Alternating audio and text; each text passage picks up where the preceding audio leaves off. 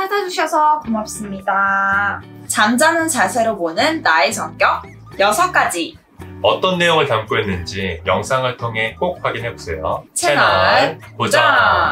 첫 번째, 군인형. 의외로 내성적, 인내심이 많고 끈기 있음, 조용하게, 말보단 행동으로 보여줌, 두 번째, 통나무형. 새로운 경험을 즐기는 성향, 자기 자신의 방식을 고수하는 성향, 매사에 느긋하고 사교성이 강함, 사고방식이 다소 경직되고 유연하지 않음, 세 번째, 갈망자형.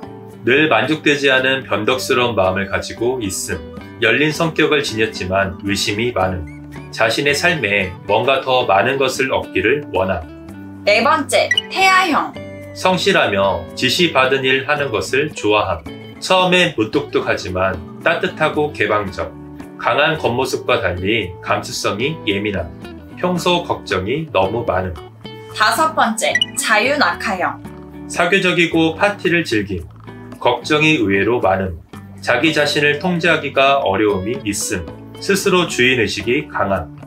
여섯 번째, 불가사리형. 다정다감한 성격으로 많은 사람들에게 호감형, 다른 사람의 의견을 적극 수용하는 성격, 남의 말을 잘 듣거나 도움 주는 것을 좋아함.